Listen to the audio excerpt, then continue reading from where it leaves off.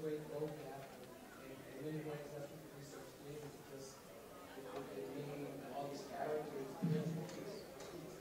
Your casting um, for, for each character in the show is impeccable.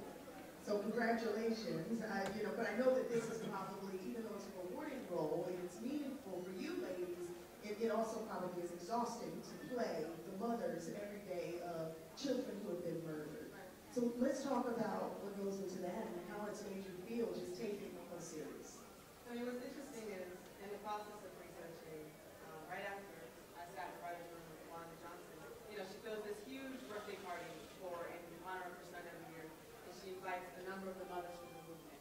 And the first thing writers, producers I've ever worked with, uh, which helps immeasurably. So they came to the table with so much and shared their own personal stories and their heart. Um, and I think you can see that on screen. Um, but, you know, for me, it's like, you know, every day I would, I would listen to the words and watch the interviews of Trayvon Martin's parents, uh, Tamir Rice's parents, his mom, um, Johnson. Um, and I would just recite the words, and I would watch the interviews every day. And unfortunately, you know, there was no shortage of material to look at.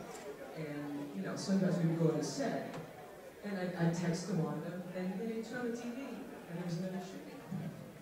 And oftentimes we go to set, and you're digesting this, and you realize, oh my gosh, the words that I'm saying in the scene today, I just heard on TV. Hi, my name is Loren Lott, and I'm shouting out Magazine Muzic. What's up? Hello.